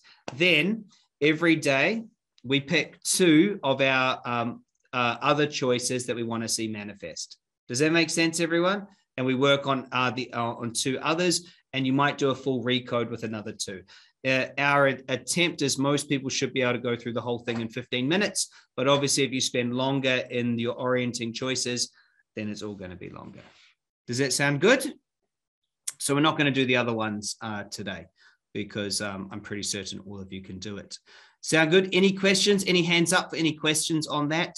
Uh, I think it's all pretty self-explanatory about the emotion uh, on the end result. Uh, speak now forever. Uh, hold it in. Everyone's good? Simple? Easy? Okay, we'll keep going. Good, good, good. Good validation, good basics. Okay, so some of us, did anyone feel resistance to that end result? Anyone get any re re re resistance? See, some people, AJ says, yes, I felt resistance. Someone saying no when I focus, yes. So some people are saying very little. No. Some people are saying yes. Great. There is nothing wrong with resistance. Nothing wrong with resistance. So when you get into your end results of your choices, your unconscious doesn't know the difference between something that happened in reality or something in your mind. Therefore, it will give you, it will show its hand. It will give you the exact uh, resistance to that. Does this make sense, everyone? They don't, it, do, it can't tell you the difference between it being in reality or in your mind. Therefore, it gives you the exact challenges it has with that reality. So if you go into the end result of you with a million dollars in your bank account, whatever your unconscious has that shows you uh, what how it feels about that is how it feels about that. This is why inner mind work is so vital. You see, this isn't, we're not doing something that's not in the field, not in the actual, uh, in the actual correctness of this, because the, to the unconscious, this is everything. You see, very important. So, what is resistance? There's this miraculous uh, force out there that seems to be working against what it is that we want to create. and uh, and this force is called resistance. So when you decide to go for a reality, you step into the emotion. You'll find not all of you is hundred percent feeling good. Okay, so a zero out of ten resistance. Okay, that looks like you are just lying back uh, on a raft, floating down the river, floating to the land of plenty. There's no resistance. The sun is the perfect temperature. And you're just, you, you know, no, I'm just kidding. Zero resistance is you are doing it. You got no problem. 10 out of 10 resistance could look like absolute stage fright. You cannot go up on that stage.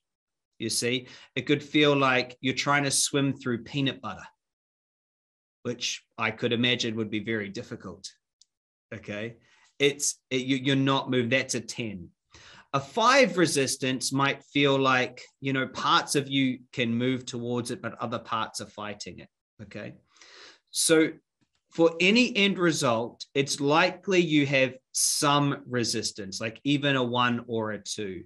The idea is you want the resistance to be manageable okay? You want it you want it to be manageable.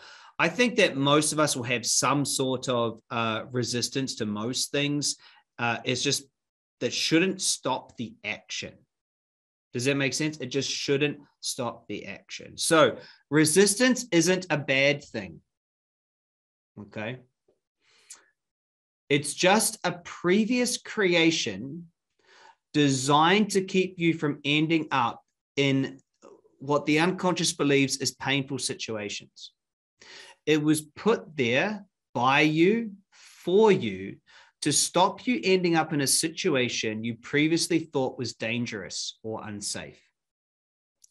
This is because the number one job of the unconscious is to ensure you and your body survive, which obviously is a very, very good thing. So, if oh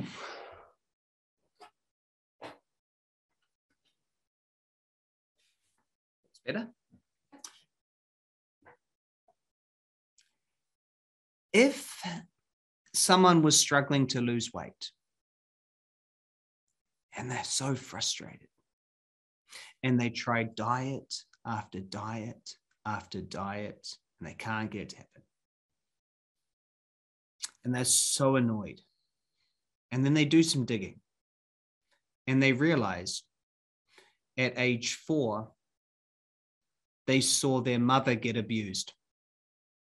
And they decided that being pretty and skinny causes abuse. So unconsciously, they decided that to be safe, you should, you should have more weight on your body. Was that decision a bad decision? It was just a three year old trying to figure out how to stay safe. Even worse if the abuse happened to them. You see? You're a two year old, you see your father so stressed out about money. He puts all his money on the line, loses it. You lose your home. You have to go live with others. So stressful. So you make the decision going for money is, is, is bad. Having money is is bad. Investments are bad. What is that a, is that a bad decision for a 2 year old to make? No. So so are they is resistance bad? The elephant uh, it's a metaphor where, where it's tied to a stake is a very very very good metaphor. So an elephant as a small elephant can get tied unfortunately by by some caring human i hope to a to a, with a little piece of rope and a small stake in the ground and it will pull and pull and and cry and pull and it, it, it won't let it won't pull it out. Then it turns into this big adult elephant. Big strong mum or father elephant ties with the same tiny rope and same little stake in the ground. Now this strong capable adult can rip that stake out of the ground and it can go do what it wants but it learned helplessness. It learned there was no point, so it gave up. Just because you couldn't handle it when you were 4, 5, 6, 7, 11, 12, 21, 25 has nothing to do with your ability to handle something now.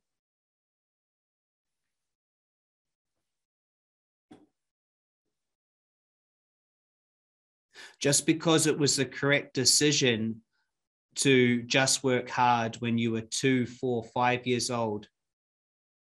Just when, when you were seven and you made the decision uh, that don't be seen because being seen gets you in trouble doesn't mean it was bad and doesn't mean it's still accurate today. Just because you had to become the boss and be the parent to your parent when you were nine years old doesn't mean that it was a bad decision or that you can't let someone else take care of you now.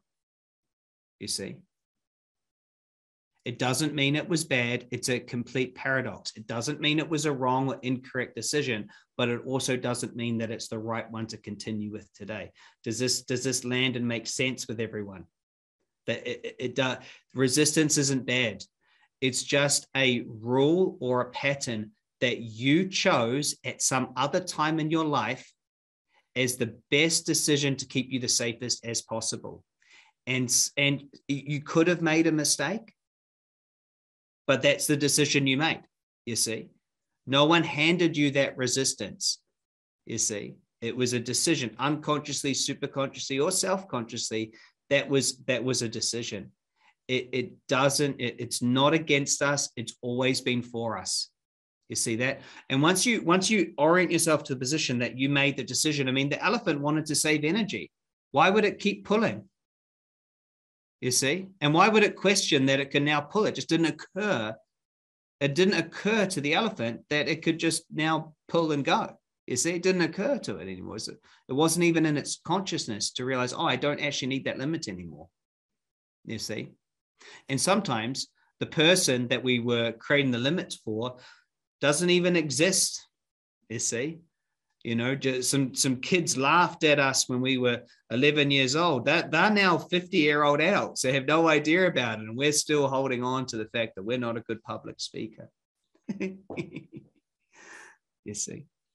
So, so what, what, what's true is we, we don't need to go on some archaeological scientific dig around your whole history. that would take a while. We don't need to do that. And uh, we don't need to use muscle testing to go across past timelines and try to clean it all up. We don't need to do that. All we need to do is focus on what we're choosing to create and notice the resistance that's present and then remove that resistance. We're never going to be perfect, you see. The only resistance that we need to shift is the resistance that's in the way of the creation that we're wanting to see manifest. Any other resistance is fine. It can stay there because it's not, that's problem solving if we go try to be perfect. You see, no, no such thing. The only thing we do is we focus on what we're creating, we engage in it, we notice how we uh, are resisting that being true, and then we shift that so we can accept our creation. Remember, the creative reality is bringing something into being, the problem solving reality is getting something removed. We're creating, and in the act of creating, there's things that need to shift. Quite brilliant, isn't it? I wish it was mine. Lots of amazing coaches have shared this with me, and I'm so honored to share it with you. So the the truth is is that uh, well, actually, let me just make sure I get all of this. The safety mechanism from your unconscious can start to hinder your life because the unconscious decides that anything new is not safe. Okay, right. So the unconscious puts anything that's not been experienced as unsafe. So if if you never were able to feel love or be loved, if it was unsafe to be loved or unsafe to be beautiful or unsafe to be rich, the opposite is deemed uh, you, you, know unsafe. So to be rich, to be beautiful, it's, it's deemed as unsafe only because it's not been experienced before. It, it, it's illogical to think any of those things are unsafe. Okay, it's illogical. It doesn't make sense. But the unconscious isn't logical. It just says this is the rules. This is what's kept us safe. So this is the way we're going to do it okay? So uh, that what happens is the unconscious puts warning signs in the form of uncomfortable feelings whenever you're about to go to do something that it deems as unsafe. And these these warning signs are stop do not enter do not go or sometimes it's a brick wall. You are not allowed here. You cannot go past this level of uh, fat on your body that you can't have you can't go past that. That's dangerous there. You can't go past this much money. You can't go past this much love. You can't. This is it. And the truth is just because it's new doesn't make it unsafe. And we all get that logically don't we? Just because it's new doesn't mean it's unsafe. In fact the current condition it might actually be more safe to be rich and i think it is. And so in spite of the logic the unconscious just wants to give everything the same. Okay?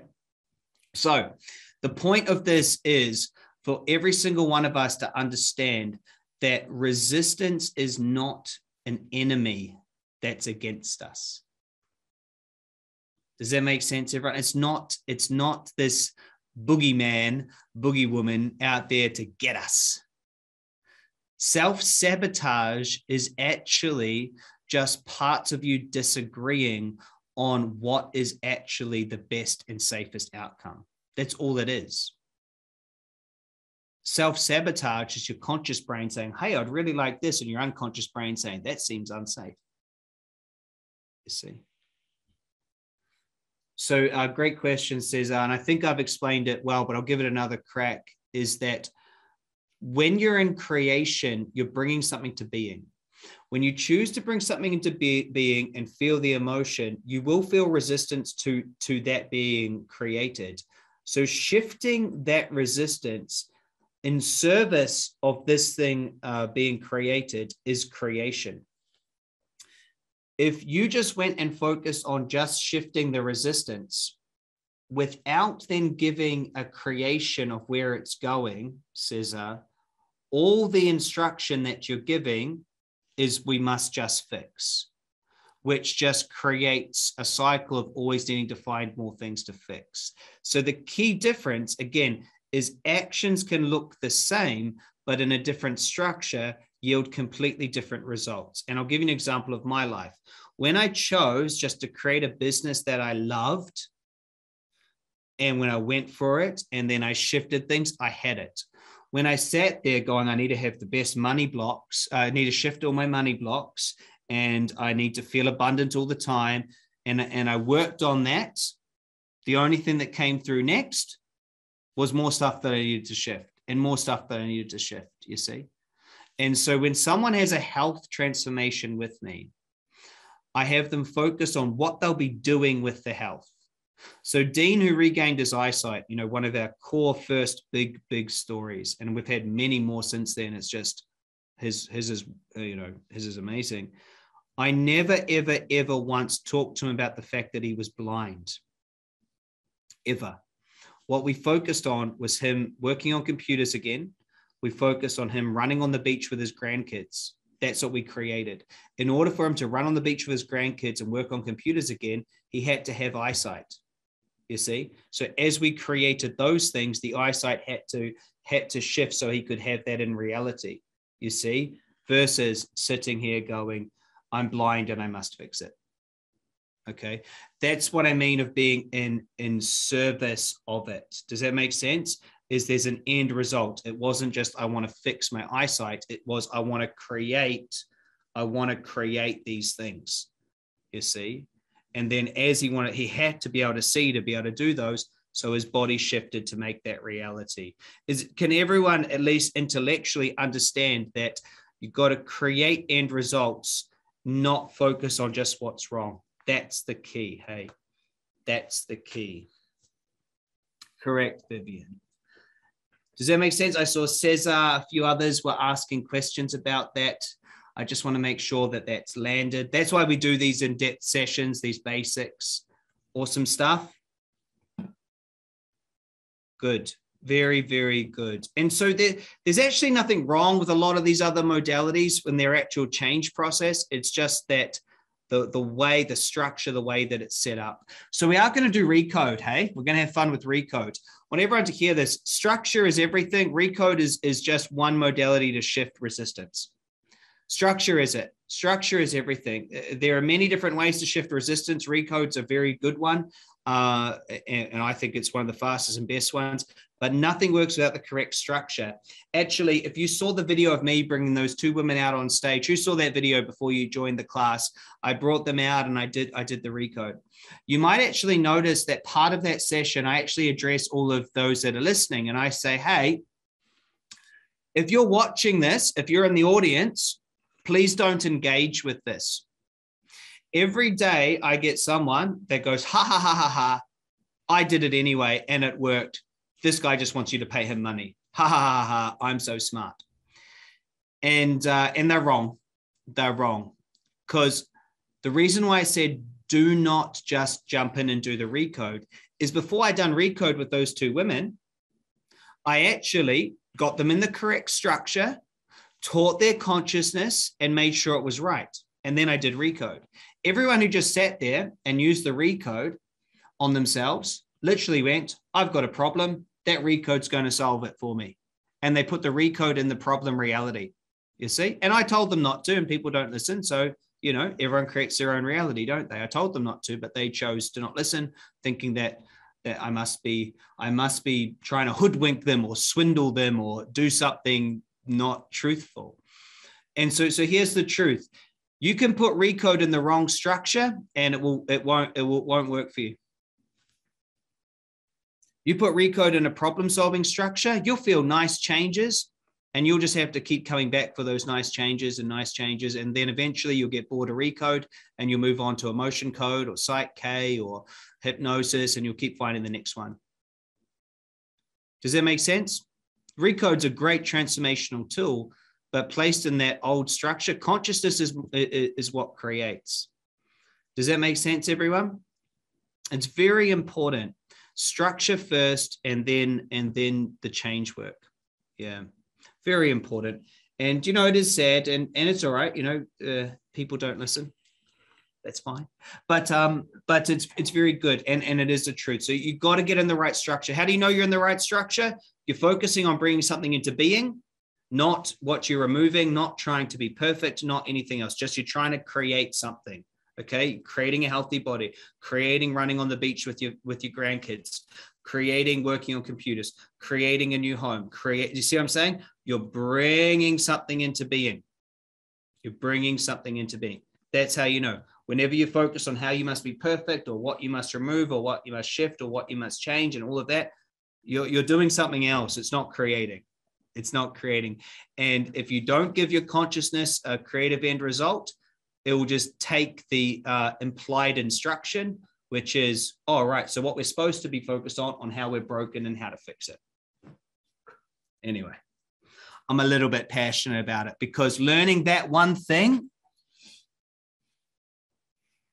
I, I, I, I geez, I, I paid so much money to figure it out, that 200 grand. And, and that just, that was, a, that was worth the whole bloody lot. it's just, that that one thing. Change your life change your kids life change your grandkids life. Structure creates reality.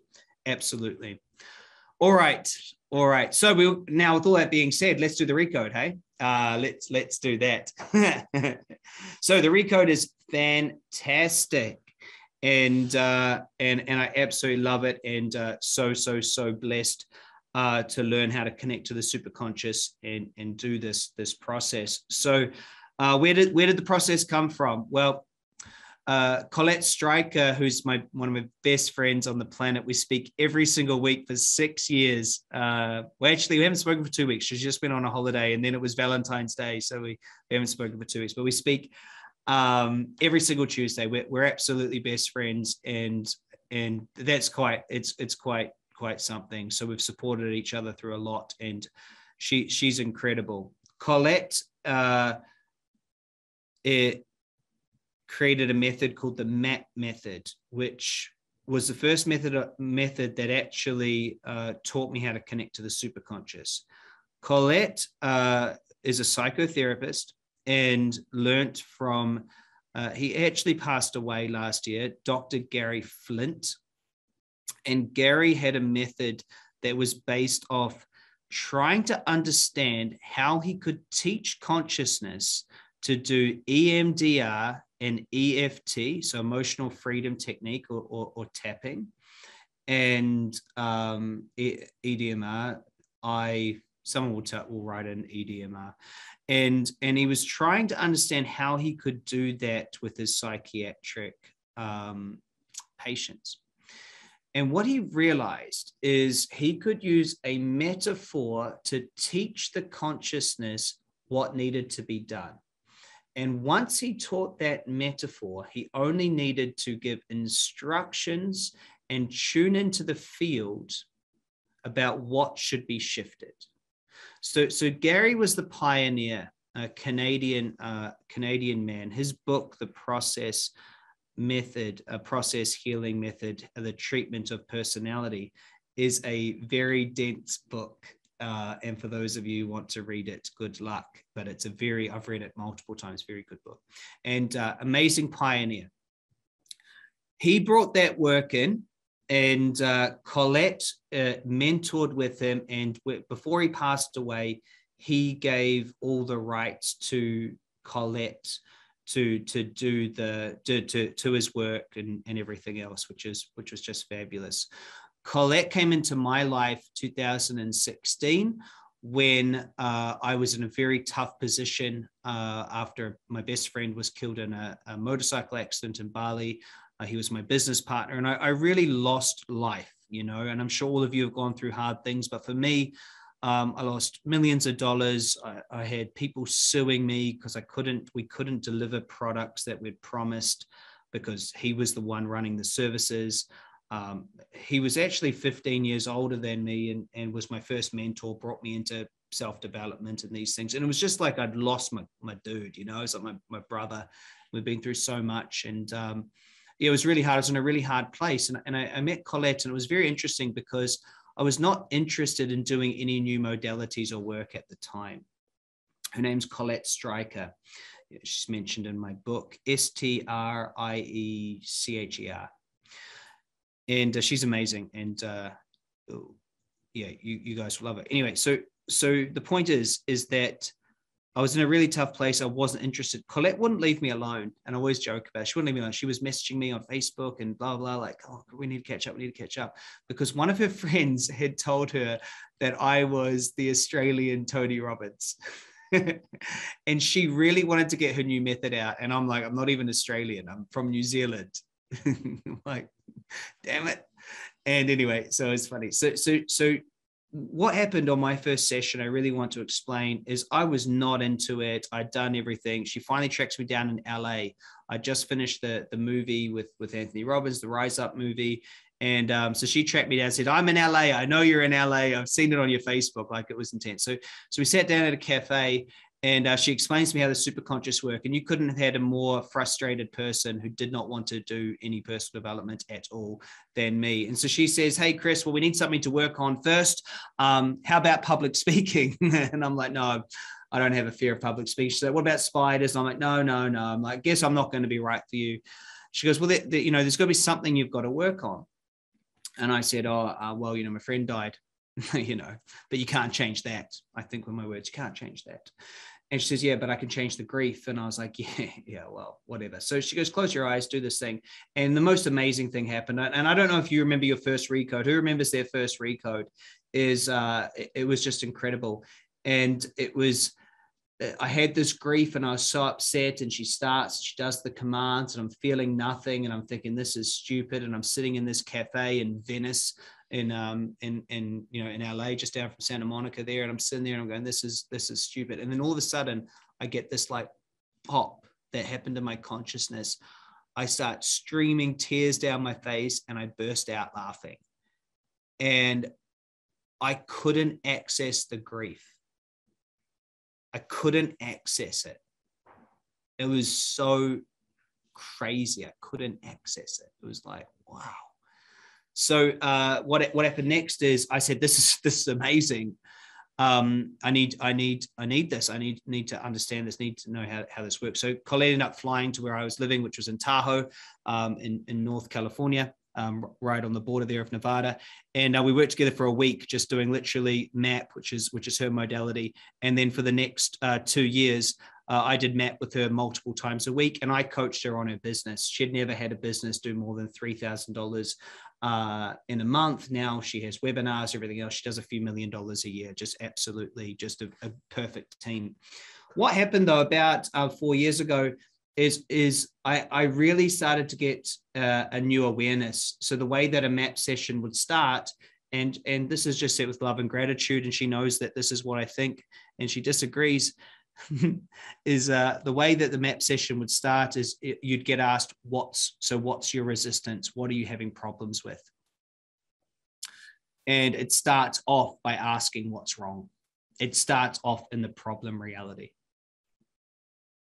And so I made the decision after helping her grow her business that that I would, uh, with using structure, bring a whole new structure and uh, and bring it all together in a new way.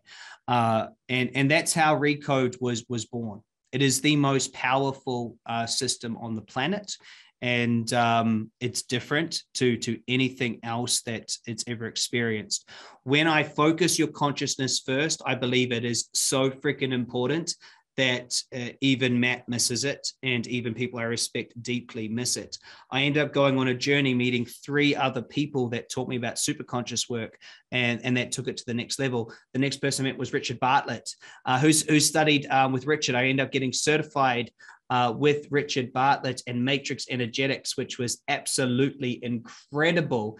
Uh, he was the first person to start talking to me about uh, point A, point B, understanding that you first engage in different quantum realities. So I brought that in. So I took MAP, the best stuff I got from Colette, brought that and brought it over. Then I met William Whitecloud. Who's ever had an experience with William, maybe from me or someone else? I ended up working personally with William for two years, very expensive, but very, very worthwhile and uh, and William added alchemy uh, to to my work and understanding a deep, deep, deep understanding of some work that I was already teaching, which was uh, Robert Fritz. So I've been teaching Robert Fritz uh, his work since I did a course called Dimensional Mind. Uh, Academy DMA, DMA, Dimensional Mind Ascension. What is it? DMA. Actually, I can't remember what the A stands for approach dimensional mind approach i did dma in 2008 and i'd been teaching that and uh, and he brought my awareness back to something i'd been teaching fritz Uh, we owe a lot of credit to Fritz for our work as well. And then a lady named Simone Wright, who brought intuition into my life. And Simone uh, lives in LA, and she's actually uh, got an amazing book called First Intelligence. But Simone, she's she's the person who the LAPD ring if they can't find a missing child. She goes into the field and tells them where where the kid is. She gets paid to do that which is pretty good. So so I brought all those people together and I and I and I got the best from all of their work and that got that's what recode is. That's what Recode is. So Recode is the best of me going around and studying with all of these people and bringing it into one roof. And the reason why I share all those people with you is I absolutely love and respect every single one of them. And uh, I, I, want you to humbly know that everything I share with you has, is a combination of very, very smart people sharing it with me. And there is no restrictions. You get this from me. Uh, you can go share it, teach it, do whatever it is, add it to your work. If you like doing Reiki or you like doing other things, you add it to this and you go out there and share it. This isn't my work, it's our work. And uh, I wouldn't be able to share it if it wasn't for these amazing people. And uh, all that I ever ask is that when you get out there and share it, that I get to be someone that you acknowledge helped you on your journey. So, uh, with all that being said, uh, love you. Let's get into Recode. It's uh, it's really cool, and please do share it. Uh, if you do get certified, you you will understand all of our you know 20 different ways that we use super conscious from all of these amazing people but also i think the thing that i've got that that you know william said this to me goes you're able to distill things in a way that just makes sense without the fluff and uh, and I love that. You know, you, you, spend years with William trying to understand and collate and, and, and bring it together. So anyway, I'm really proud of it, and I don't think that uh, there's anything else that you need other than what we teach here. Uh, but of course, if you if you've got a curious brain and want to go talk to some other people, you can too because they're amazing. So the super conscious, hey. The recode. You can use the superconscious to treat and change any resistance that you have an end result you'd like to manifest. We do this mainly with the recode. Uh, as I said, we have over 20 different ways to work with the superconscious, but the recode is the one that uh, is the most profound. When we're using the creative structure, we trigger resistance into the active experience through structural tension. Your active experience is everything you're consciously and unconsciously experiencing right now. It is made up of thoughts, feelings, memories, desires, people, situations, and more. The recode works by changing all the instructions causing resistance. Okay. The instructions, meaning what the instructions that you gave your consciousness at age two, five, seven, 10, whatever it is. This allows a different action to be taken. A good way to explain this is to think about an end result you've not been able to manifest. Okay. Imagine it being at the end of a road. Because of past actions, the road is in disrepair and cannot be driven on you notice potholes and they stop you being able to move forward. So, what needs to happen? You need to fix the road. Luckily, because you created all this resistance and all the potholes, you have everything that you need to fix it. You can fix it, change them. As soon as you do, you can easily drive down that road to what you desire. Put it different way, your superconscious can remember exactly how it created these potholes and where it put all of the dirt or the materials and can just put it straight back in the perfect way, in the perfect order, smooth them out so that you can go there. See, if you're walking with a dog you, you put it on a leash. Hey, you, you know, you, you put the dog on a leash or a lead and you don't want the dog to go a certain way. That's exactly what your unconscious is doing to you. It's put things in the way. Now, that's just like the elephant. Now you can actually go there. So, how much you acknowledge and change your resistance is up to you. The process is about creating results you desire, not being perfect. Okay. However, if the old pen is in the way of what you desire, I suggest getting new information. The old information was valid, but it's not useful anymore. You can be amazing with a sword, but it's useless in a gunfight. The yellow pages may have helped you to find a dentist in the past, but now you can just go online and search for one. It doesn't matter how useful the original was. The question is, will that help me in the future?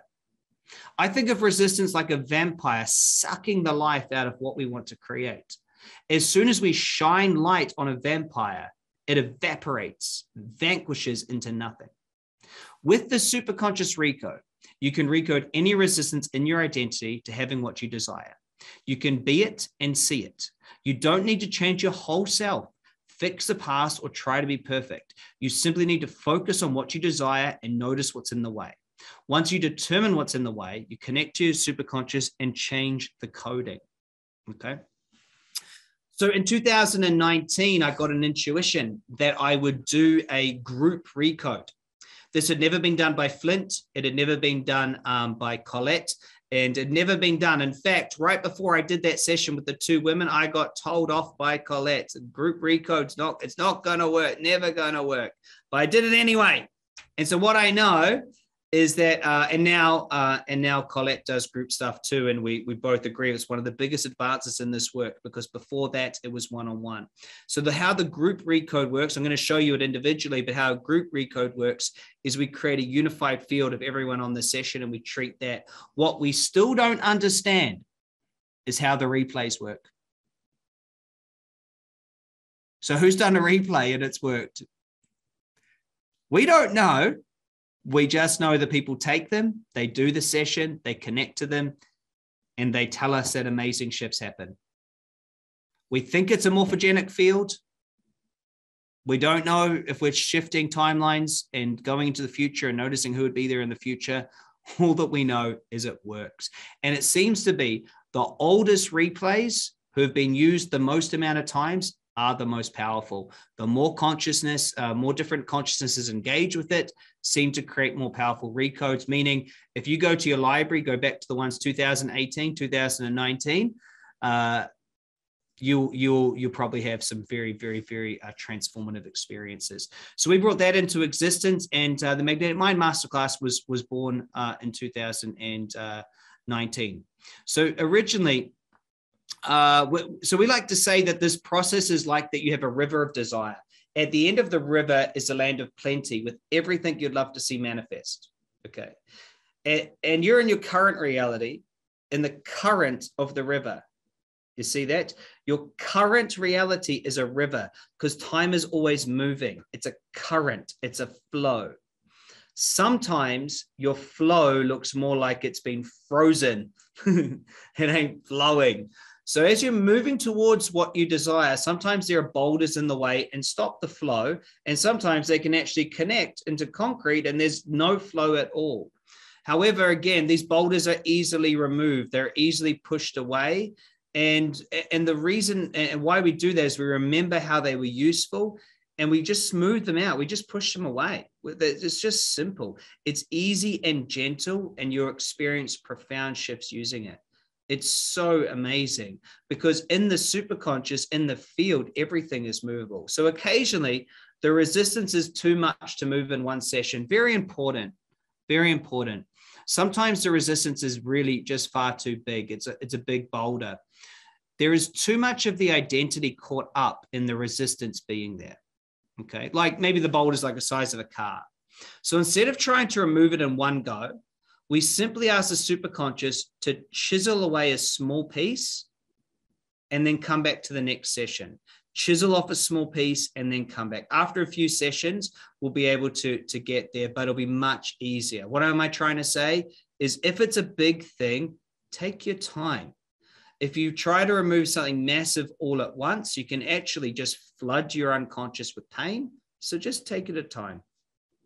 Okay so you know when a recode has worked, when what was stopping you previously is no longer a problem or stopping you. How do you know it's not stopping you? The river's flowing.